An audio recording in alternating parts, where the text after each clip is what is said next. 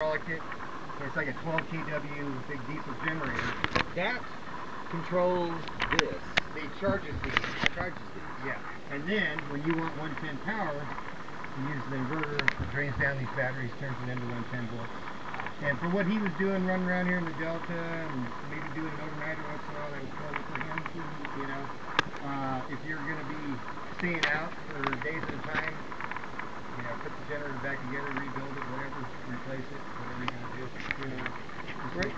Right now we have two where the, uh, they want they want to do something for them and take them out. You know, Oh, okay. Gotcha. Feed them and run them.